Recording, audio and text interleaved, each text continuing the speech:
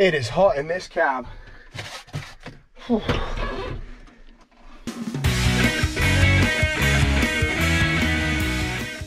Hey guys, it's Nick. Welcome back to the channel. As you can see, I've got the John Deere 8270R out again. This morning, I've got a little bit of work to finish off over at Farm 2. There's um, a bit of field work to finish off over there this morning. It's trying to rain, uh, and the forecast does say it's going to chuck it down later, so fingers crossed I can beat the rain.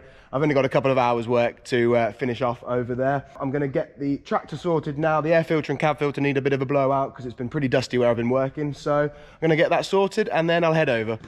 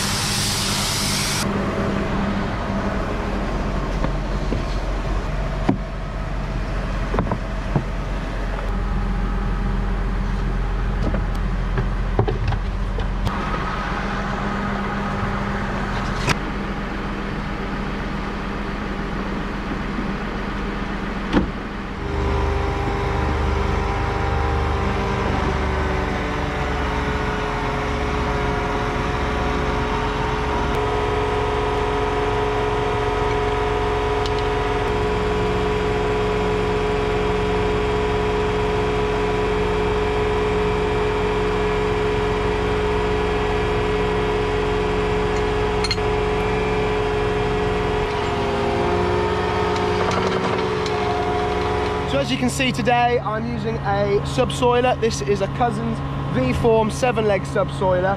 What I'm doing is this field I'm in, I chisel ploughed up yesterday and now I am crossing my work in the other direction with the subsoiler, mainly because it's got this great big packer on the back. This press here, this is gonna help work down what I ploughed up yesterday, help break up those clods, um, and help preserve the moisture. Obviously the legs themselves are going to be doing a good job working the soil as well. I'm not actually subsoiling as deep as I would be normally if I was doing a proper subsoiling job. But like I said, the main reason I'm using this bit of kit is the packer on the back to help work down what I ploughed up yesterday. Somebody did point out in the video where I was chisel ploughing the other day, um, why why haven't we got something, you know, like a Sumo, you know, like a three-in-one, a disc, uh, a disc tine and press all in one type cultivator. Now the reason we don't have one is we're sort of trying trying to be sort of 100% direct drilling. I suppose at the moment we're sort of more like 80 to 90% direct drilling, but for the amount of cultivation that we actually do, it's not really worth investing in, in a bit of kit like like that. And we've sort of developed this little system now where if, if, there is some cultivation that needs doing we go in first with the chisel plough and then in with the subsoiler with the packer on the back. And it, and it does a good job. It's a nice little system we've, we've got going. One idea we have had is to maybe sort of make up a packer a press for the back of the chisel plough that way we are only doing sort of one one pass so that's that's an idea maybe a winter project. Uh, somebody else pointed that out as well. Why don't we do that? But that's definitely an idea we've had in the past. I thought what i'd do this morning is for those who don't know now i'm probably going to be explaining something that a lot of you do know but i thought it might be interesting for those who don't. I thought i'd do a little demonstration on how the the gps the auto steer the auto track guidance works in the tractor. Because uh, obviously you saw me put on the big yellow dome on the top of the tractor the StarFire receiver. So i thought i'd do a little quick demonstration on how that works. You can see uh, how the tractor can drive itself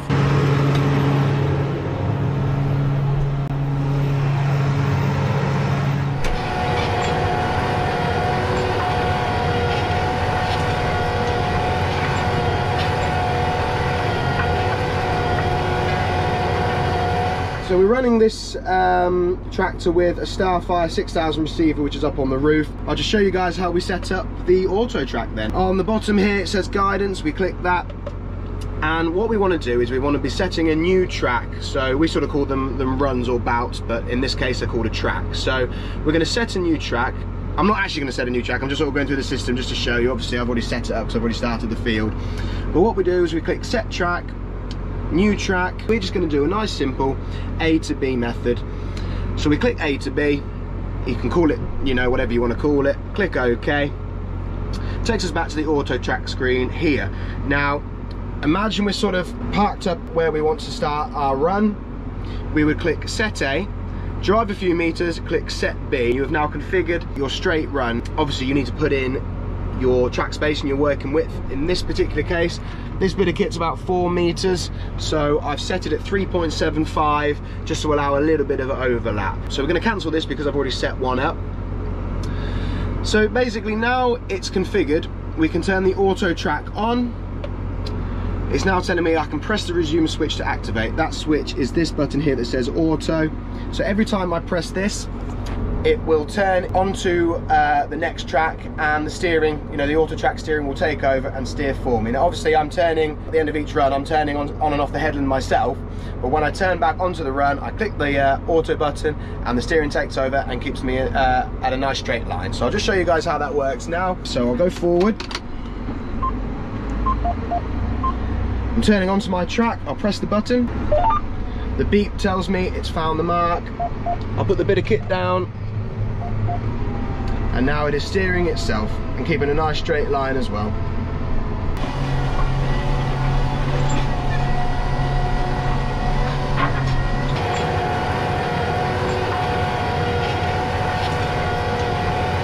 So for those of you who've been watching my videos for a while, you'll know that I'm sort of still into my old kit as well, you know, the old school stuff. We still run a couple of old Ford tractors as well.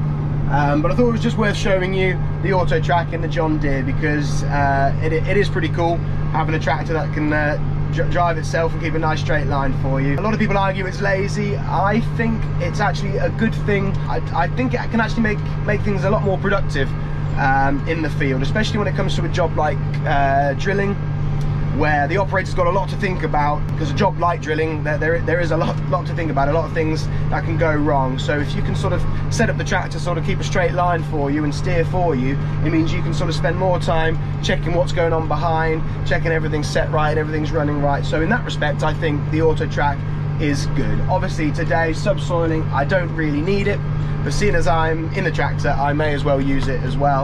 Um, and obviously it's given me a chance to show you guys sort of how it works so I'm going to get the rest of this field worked off. Uh, there's just sort of a couple of hours work here. Um, and then I'll uh, be heading back to the yard.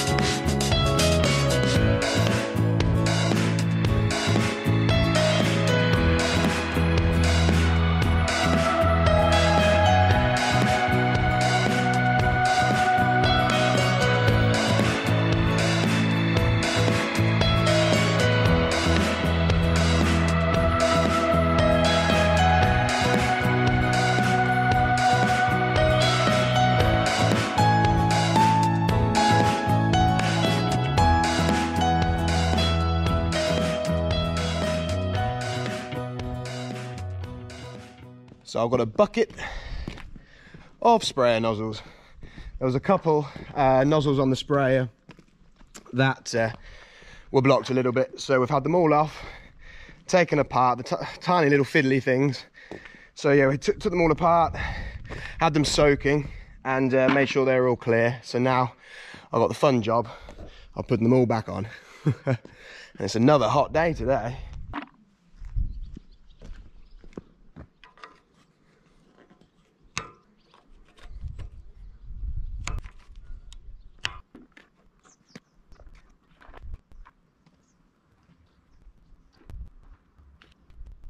So these are the two that were blocked. Um, I've put them on the end here so they're easy to spot. But um, I know it's a bit overkill having them all off. Um, but you can't be too careful. You don't you don't want a leaky nozzle, um, especially on the back there in the in the middle where you can't see um, when you're spraying. So they've all they've all been off. They've all had a soak. They've all had a had a clear through. So I'll run some water through it a bit later, um, and we'll just double check that they're they're all okay.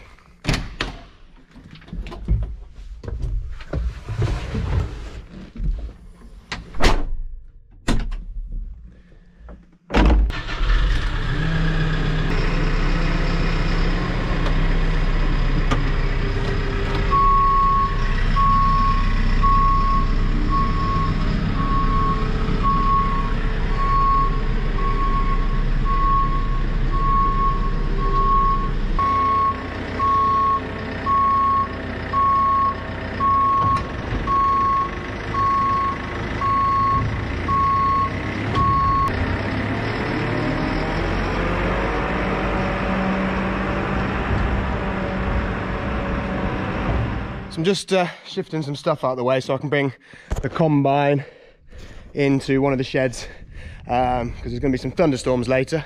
It's blooming hot now, so you know, quite refreshing really when when the rain gets here. But um, hope it doesn't come too much because I've actually got a little bit more work to do over at Farm 2 cultivating. So um, anyway, the, the, combine's going to be better being brought in. Uh, plus, there's a couple of jobs to do to it as well. There's not going to be time today to do them, but um, at least it'll be in the shade as well um, for when we do do it because it's. Uh, I think it's going to be a hot week in between these thunderstorms. So, yeah.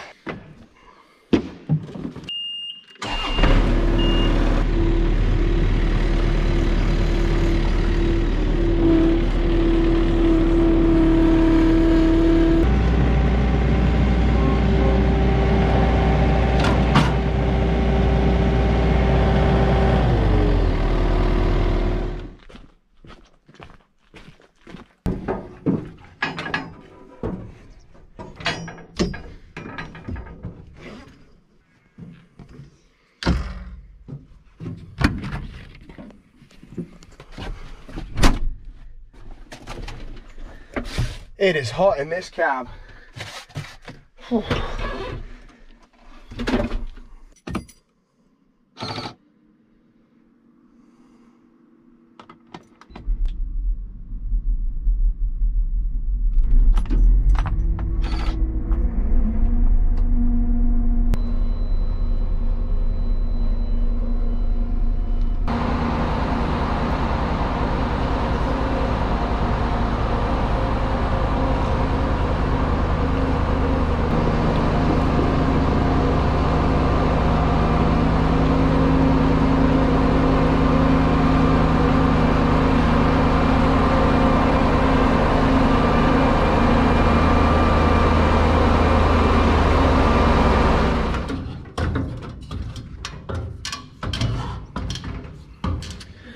One of the jobs we've got to do. It's only cosmetic, but this big dent here. Uh, this is the the cover for the air, air filter pre-cleaner. And we do not know what happened. We think a tree bough must have hit it. We've retraced our steps and we can't figure out what's happened there. But we've had a, a steel plate made up uh, to fit this. So we're gonna sort of pop that on top. It's got a lip on here, hopefully it's going to sort of pull it straight when we put it on. So that's one job to do. And for those wondering about harvest, because everything was spring drilled, we're just, uh, we're, we're a week or two, well, a few weeks behind everybody else. It seems everyone seems to be either combining or finished combining. And we're still a week or two away from starting. But um, yeah, at least it's sort of the combines in the shade now so we can uh, do those a uh, couple of bits. Uh, me, me, and dad will do those together um, between us when we, uh, when we, when we get a chance.